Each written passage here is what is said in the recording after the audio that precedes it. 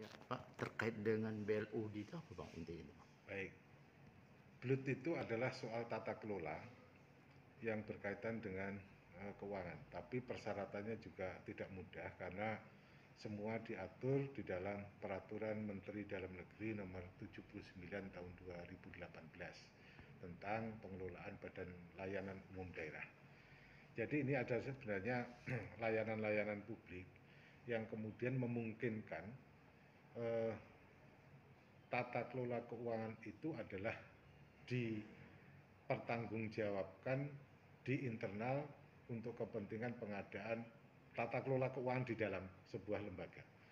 Jadi misalnya bisa saja GLUT itu berkaitan dengan eh, fasilitas kesehatan, misalnya adalah rumah sakit, puskesmas dengan GLUT, kemudian pendidikan SMP, SD dengan GLUT, atau DLH berkaitan dengan eh, persampahan tata kelola persampahan dengan GLUT itu sah-sah saja.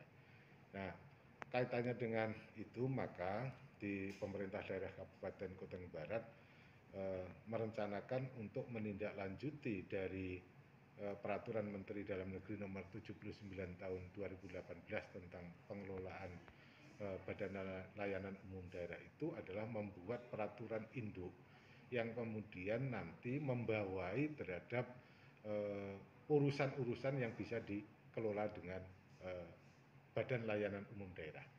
Jadi itu uh, terutama hari ini sudah dirapatkan, kita telah membentuk tim kecil untuk menyusun peraturan induk, tapi kemudian dari peraturan itu nanti amanah dari peraturan Menteri Dalam Negeri itu lanjutannya masih banyak harus ada peraturan tentang tata kelola keuangan, peraturan-peraturan ketentuan tentang badan pengawas, uh, peraturan tentang rekrutmen pegawai dan lain-lain nanti uh, banyak peraturan yang harus dilaksanakan dan diikuti untuk tertib administrasi pemerintah.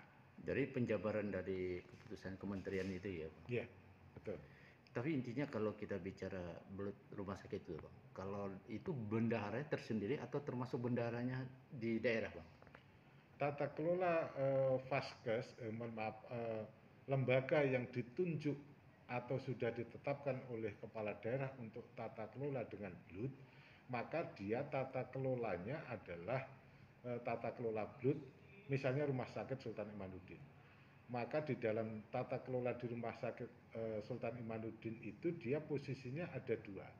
Satu yang berkaitan dengan uh, tata kelola selaku SKPD, yang kedua adalah berkaitan dengan tata kelola berkaitan dengan uh, belutnya.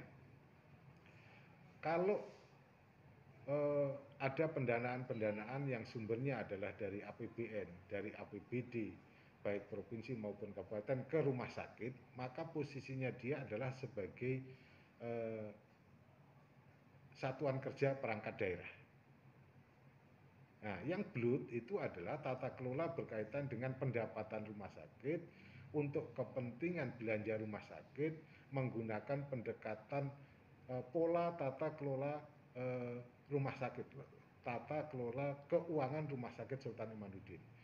Akuntansinya sudah ada tersendiri, kemudian rencana bisnisnya juga sudah ada sendiri, maka itu ketika bagian dari hasilnya kepada pemerintah daerah adalah dalam bentuk rekonsiliasi dan laporan. Jadi di rumah sakit itu ada dua laporan, satu laporan SKPD, kedua adalah laporan blood. Laporan blood maka adalah bagian dari laporan keuangan SKPD rumah sakit. Tapi kalau kita bicara standar, Bang, artinya untuk mengacu misalkan ruangan, apakah ini mengacunya kepada bloodnya atau mengacunya kepada daerah, Bang? Untuk pengelolaan.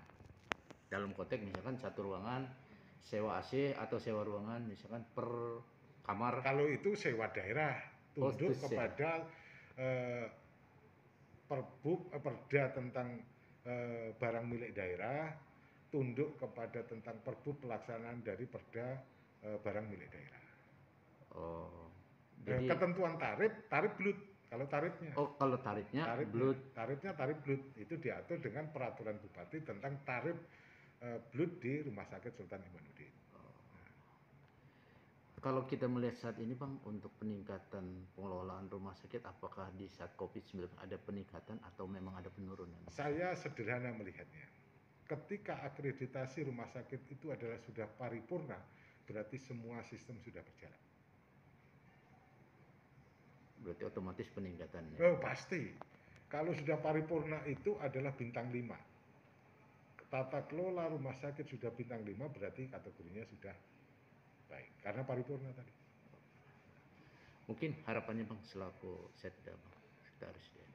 Eh, harapan kita pelayanan publik tetap berjalan baik karena rumah sakit kita itu adalah rumah sakit rujukan untuk wilayah barat yang kemudian juga eh, teman-teman dari Kabupaten Lamandau, Sukamara, eh, rujukannya tetap ke Kabupaten Kutai Barat, terutama kaitannya dengan eh, masa-masa COVID-19 yang juga belum selesai. Kita berharap eh, apa bed occupan eh, bed occupancy eh, rate-nya itu juga terpenuhi. Itu artinya ketersediaan tempat tidur untuk pelayanan yang sakit karena COVID-19 itu juga dapat tertangani. Tapi pemerintah daerah, eh, arahan pimpinan, arahan eh, Ibu Bupati, Pak Wakil Bupati selalu melakukan analisis terhadap ketersediaan eh, tempat tidur bagi eh, rekan-rekan kita yang terserang COVID yang kondisinya sakit. Eh, perluasan rumah sakit tetap kita siapkan untuk kepentingan pelayanan kepada masyarakat. Oke, terima kasih. Bang.